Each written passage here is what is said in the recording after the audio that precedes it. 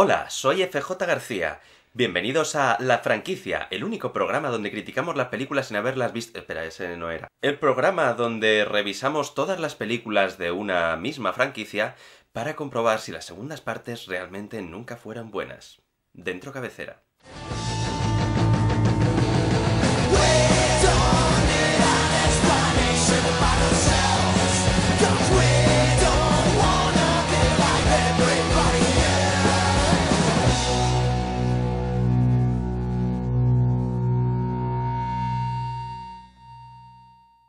Prometí hace poco, hace unos 2, 3, 4, 5, 7 años, hacer una retrospectiva de todas las pelis de Destino Final.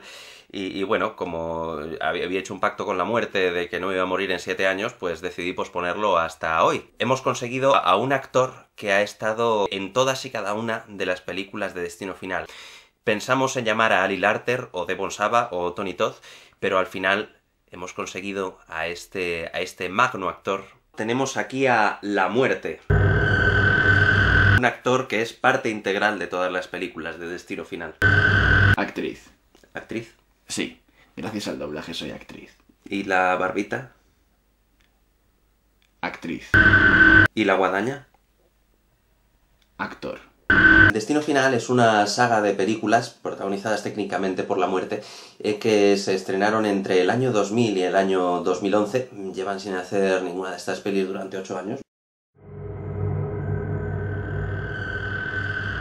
En la década de los 90 hubo un resurgir de las, de las películas de terror estilo slasher, de un villano encapuchado que va persiguiendo al resto de personajes adolescentes, como las pelis de los 80 de Viernes 13, Pesadilla en Elm Street, etc. El revival llegó eh, de mano de uno de los directores de por aquel entonces que fue Wes Craven. Hizo Scream y ya todo el mundo quiso hacer películas del estilo. Destino Final es así, una serie de adolescentes que se van muriendo eh, uno detrás de otro pero tiene ese giro argumental de que no es alguien, bueno, sí, sí que es alguien encapuchado, es este señor, pero este señor no se le ve físicamente. señora! A esta señora no se la ve en ninguna de las películas, a veces se ve como una sombra, solamente aparece en, en forma de espejismos de los personajes o, o de pequeñas premoniciones pero no se le ve, porque la muerte es la muerte y no, sale, no, no, sales con la capucha ni nada, sino que directamente eh, hay uno que se muere en la, bañera porque se resbala por la pompa de jabón, unas que se mueren en un spa de belleza porque no pueden salir del aparato de rayos UVA, le va a pinchar un clavo que está oxidado y entonces dice, oh, muerte, te he ganado porque estabas a punto de transmitirme el tétanos. en la primera se muere una porque le da por cruzar la calle de espaldas y entonces viene un autobús y le atropella. Yo creo que, yo creo que en esa muerte no tuviste nada que ver, era solamente que la tía era gilipollas. La idea para esta saga de películas la tuvo Jeffrey Roderick. La idea inicial no era hacerlo como una película, sino como un proyecto de, de capítulo de Expediente X. Pero al final porque se lo recomendaron sus amigos, no lo terminó presentando para Expediente X, sino que lo llevó por distintas productoras diciéndole que, oye, queremos hacer una peli de esto, de que eh, gente que se supone que se tenía que haber muerto antes, la muerte le va persiguiendo hasta que pues, se terminan muriendo uno detrás de otro. Le pilló los derechos New Line Cinema, y originalmente no iba a ser una serie de películas, iba a ser simplemente una película y se iba a titular Vuelo 180 trata de un accidente de avión. Eso era ridículo.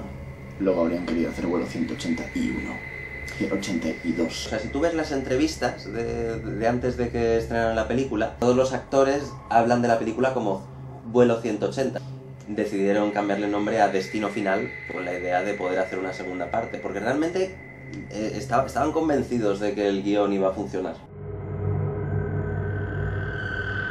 Destino Final, las cinco películas tienen básicamente el mismo argumento. Una serie de adolescentes van a subirse en un eh, sitio que va a tener un terrible accidente. En la primera película los protagonistas van a subirse a... Un avión.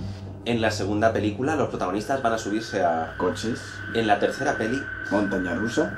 En la cuarta... En unas gradas de una carrera de NASCAR. Y por último en la quinta...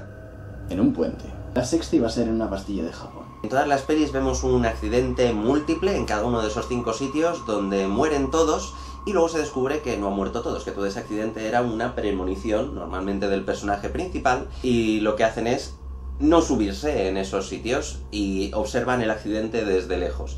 y ese podría ser el final de la película. En plan, han sobrevivido, jiji, jajaja. Pero aquí el señor muerte tiene ganas de que se termine muriendo sí o sí, así que durante el resto de la hora que suele durar la- las películas, se va muriendo uno a uno. Igual que si fuera una película slasher, en plan eh, Michael Myers o Jason Borges o Freddy Krueger yendo uno detrás de otro, cargándoselos. Lo que pasa es que en este caso no es eh, una, un ser, un ente físico, sino que es la, es la muerte. A mí me resultan muy divertidas estas pelis porque son muy absurdas. Está, No, son realistas. eh, es- es- está, una persona eh, disfrutando de su día a día y como se supone que se tenía que haber muerto en el accidente, eh, las cosas del mundo están intentando matarle. En plan, eh, va caminando por la calle y le cae un meteorito al lado y es como ¡Fu! O ¿sabes lo que te quiero decir? Y le empiezan a pasar una serie de cosas hasta que por fin la muerte le pilla. Es la muerte persiguiéndole. ¡Ah! Lo bueno también es que en todas las películas, si uno consigue no morirse, la muerte se lo salta y va al siguiente, ¿no? Porque te aburres de intentar matar a uno y, y vas a- y vas al siguiente y luego ya volverás a cerrar el círculo, ¿no? ¿Sabes que no eres el único villano de estas películas? También está Tony Todd, que había hecho de Candyman, más, más conocido por haber hecho Candyman. Tony Todd, que hace de William Bloodworth, el forense. En la primera, la segunda y la quinta aparece en un momento dado como el personaje misterioso que les dice cómo funciona la muerte. Él solo habla, Y avisa. Pero no es el villano. El que avisa no es traidor. Ahí está.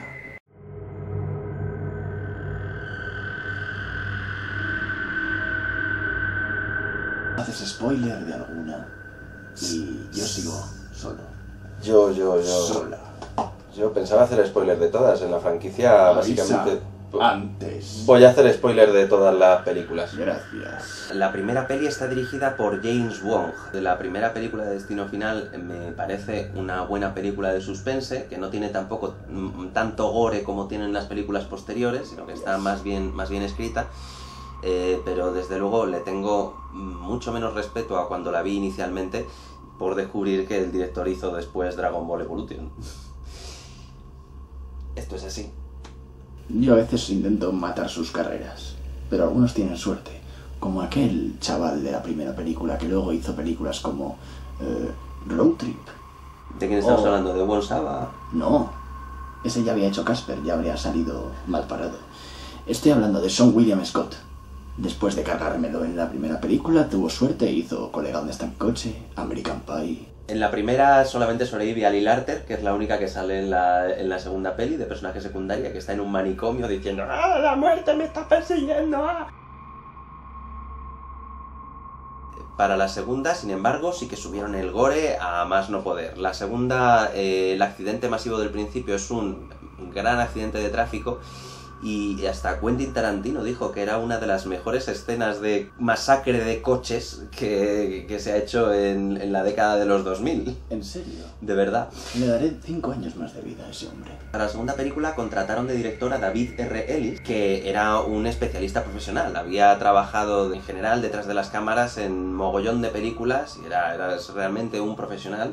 Y además, como descubrimos en esta película, también un profesional del gore. O sea, mucho, mucho gore, mucha casquería. La segunda yo creo que es mi favorita de las cinco, porque es la, la única, salvando la quinta, que intenta cambiar un poquitín la fórmula. En plan, en la primera y en la mayoría, eh, todos se van muriendo en el orden en el que se hubieran muerto en el accidente inicial, y aquí, con la excusa de que la muerte quiere cerrar el círculo, se va muriendo al revés. El último que se moriría es el primero que se muere, ta ta ta ta ta. Es una de las pocas en las que le dan a los protagonistas una manera de salvarse, que es en este caso que haya una nueva vida. Si hay una nueva vida, paras a la muerte, ¿no? ¿Te acuerdas? O sea, ¿por qué querías salvar a los protas de Destino Final 2? Para Destino Final 3, que se estrenó en 2006, lo que hicieron fue eh, contratar al director de la primera, James Bond, el director de, de- de Dragon Ball Evolution. Y lo que hace en esa peli es realmente un remake de la primera, mm, totalmente, paso por paso. Sí, sí, la tercera es un remake de la primera. O sea, ¿Dónde ni hay siquiera... aviones? No hay aviones, hay un... Entonces no es un remake. Hay- eh, se, se muere en eh, el accidente es una montaña rusa, pero por lo demás es exactamente es igual. en tierra, no en el aire. Pero bueno, en el aire sale volando una- un carrito. de- Tiene mucho menos gore que la segunda peli. Hay mucho gore. ¿Sí? ¿No recuerdas cuando a uno de los protagonistas tiene un accidente de coche, el coche de atrás se le escapa el motor y le abre la cabeza el ventilador del motor de ese coche? Pues no me acuerdo bien. Era un espectáculo sorprendente. Mira, déjame hacer el ejemplo. Chac, chac, chac, chac, chac, chac. Obviamente era más deprisa. No veo que tenga ninguna conexión con los personajes o con el argumento de las dos primeras. No mencionan el vuelo 180, no sale ningún personaje anterior. La podían haber titulado Destino Final el remake. O podían haber titulado El Destino Final, que es como titularon a la cuarta. La cuarta, en lugar de titularla Destino Final, la titularon El Destino Final. Y era, era una práctica muy común por aquel entonces, allá por 2009, en plan que la cuarta de Fast and the Furious la titularon Fast and Furious, la cuarta de Rambo la titularon Rambo directamente. Es, es algo muy confuso, sobre todo ahora que ha pasado tiempo y dices, oh, voy a verme Destino Final. Mm, ¿Será la primera peli porque pone Destino Final? Pues no, esta es la cuarta. Lo que pasa es que no tiene esa gracia de la segunda de cambiar un poquito la historia. O sea, también es un remake de la, de la primera y tampoco tiene referencias a, a- a- a- No es a las anteriores un remake. a pesar del título, pero es que, es que no tiene relación con las anteriores. Es como es, es tan remake como Destino Final 3. En la cuarta se acuerdan de lo que pasó en las anteriores. ¿Ah, sí? Quizá debería haberla visto. No la has visto. No, no he visto Destino Final 4. Ni siquiera... Estoy haciendo una retrospectiva de Destino Final y no he visto Destino Final 4. He visto escenas, pero no. Esta está dirigido por David R. Ellis. A nivel de directores tiene esa curiosidad, que la primera y la tercera están dirigidas por el mismo, James Wong, y la segunda y la cuarta están dirigidos también por una misma persona, que es David R. Ellis. David R. Ellis más tarde hizo Serpientes en el avión, que está muy bien, con Samuel L. Jackson diciendo no puedo aguantar a estas serpientes en este motherfucking plane. Le daba reparo que no le hubieran contratado para la primera, que era donde sucedía el accidente de avión, así que dijo pues voy a hacer yo mi propio accidente de avión y además con serpientes. En 2011 contrataron por fin a un director distinto que fue Stephen Quayle, que antes había sido ayudante de dirección de James Cameron en Avatar. Y le contrataron, yo creo, para Destino Final 5 por eso, porque sabía mucho de, de 3D. Tiene un accidente masivo también en la carretera, como en la segunda, excepto que aquí tiene lugar en un puente. Entonces, eh, aprovechando el 3D y para poder estrenarle en IMAX y todo eso, pues tiene un cable del puente yendo hacia la pantalla. El accidente de la quinta es una cosa también espectacular, como el de la segunda.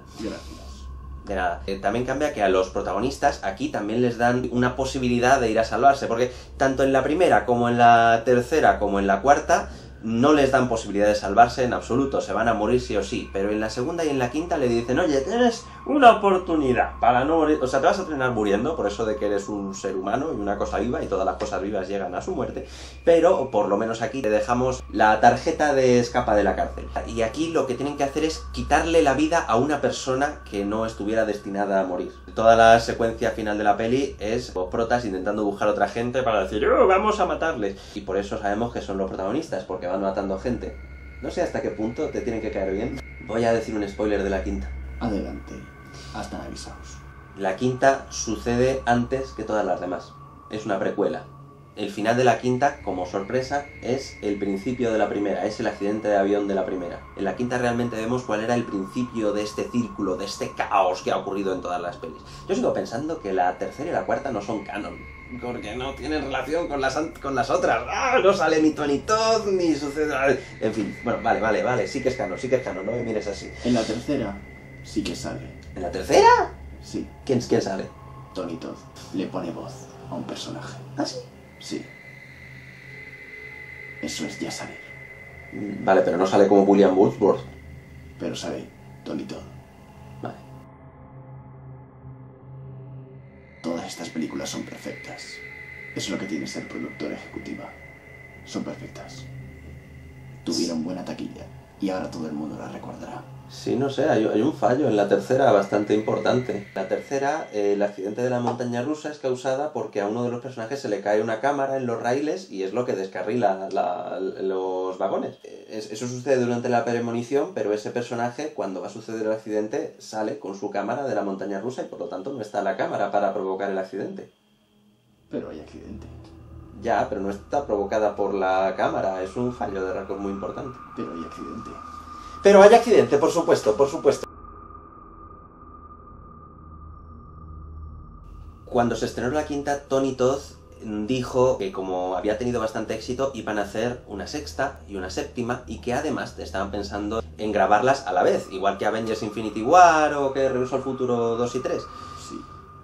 Eh, pero desde 2011 no ha salido ninguna peli más de Destino Final. Tengo una teoría de por qué ha sido. ¿Por qué? Es porque estas películas están gafadas. Detrás de las cámaras, en 2013, el director de la segunda y de la cuarta apareció muerto en su habitación de hotel. Yo no tuve nada que ver. Pues nadie sabe por qué se ha muerto. O sea, es una serie de extrañas circunstancias. Y claro, ahora mismo James Bond debe estar diciendo, eh, pues a lo mejor la muerte no me ha matado porque como he hecho Dragon Ball Evolution he matado una franquicia, eh, a- así he cobrado su vida y por lo tanto no me he muerto. Pero Dennis Quaid, el director de la quinta, debe estar con los huevos aquí, diciendo, joder. Ofrezco la posibilidad de rodar la sexta, y la séptima y la octava. Así ganaremos a la Academia de Policía. ¿En Loca Academia de Policía muere gente? Sí, los espectadores. Bueno, muchas gracias por ver este vídeo y, y que... ¿No que- has visto la cuarta? No, no he visto la cuarta. Has dicho al principio que estabas años y años esperando hacer este vídeo. Y encima de que va a salir un poco más corto de lo normal, te has atrevido a no ver una de las películas de mi saga. Eh, bueno, es- ¿Por qué? Bueno, pues nos vemos en el siguiente vídeo. ¡No! No habrá siguiente vídeo. ¿Por qué? ¿Por qué? Porque esta cabeza ya no va a estar pegada a este cuerpo.